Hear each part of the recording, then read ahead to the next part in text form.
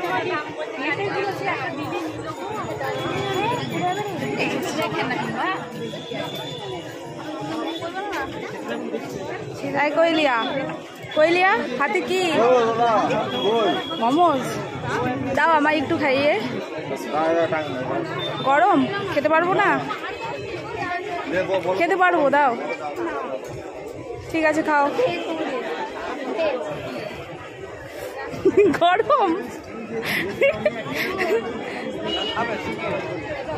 time ना